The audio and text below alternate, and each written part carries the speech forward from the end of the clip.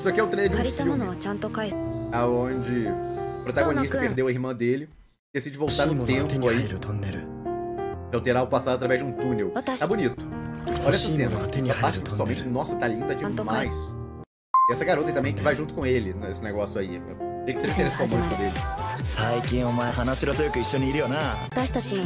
Nossa, essa cena que tá linda pra caramba. É aqui, parece um bando de memórias, porque tem nas árvores tem um bando de fotos, então parece um bando de memórias. Vamos lá, vamos sair tá correndo nesse escuro aí.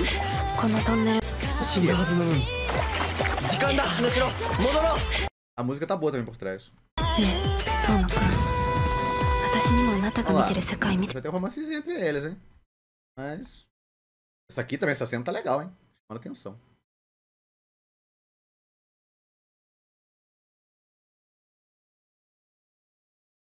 Legal essa cena. Ativa. Os cabelos dela caindo sobre ele. Olha lá, ele apaixonou. Olha esse cabelo. É que amor.